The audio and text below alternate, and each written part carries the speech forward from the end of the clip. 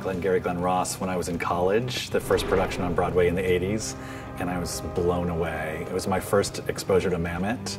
I love his language. I love how muscular it is, how fragmented it is. It explores the way that people communicate and don't. You, you don't axe your sales force. No. You you You- you- no you you build it. That- that's No, what I'm- you- So what that creates is this this amazing dynamic of of overlapping, of self interruptions, of of finishing you know half a thought where where it's actually really exciting. We try to figure out what that thought would be. This play was written in the 1980s in the middle of a real estate crash when real estate prices were rock bottom and nobody had any money to buy it anyway. Here we are in the middle of a real estate crash and we're in the middle of a national recession, worldwide recession.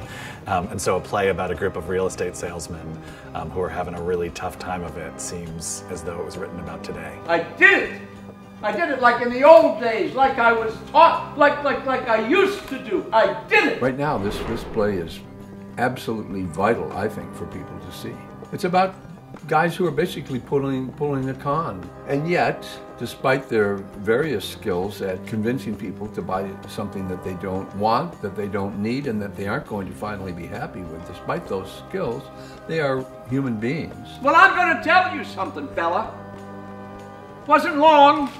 I could pick up the phone, call Murray, and I'd have your job. So one of the things you do in rehearsal is build trust and build community and build an ensemble, and that's particularly important uh, on Glengarry Glen Ross because the language is fiendishly difficult. Well, Mamet, I mean, I feel uh, privileged to be living at the same time as this man, and he's just, uh, you know, a fabulous writer. Obviously, he's known for his, his sort of particular style. He writes characters that are so rooted in their intention, in their objective. They can't express it in one fluid thought. Well, I think structurally this play is uh, almost perfect. Like there's no wasted gestures.